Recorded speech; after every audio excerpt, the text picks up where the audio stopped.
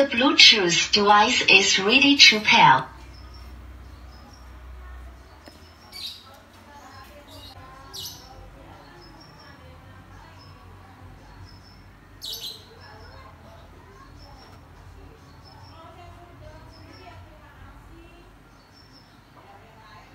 The Bluetooth device is connected successfully.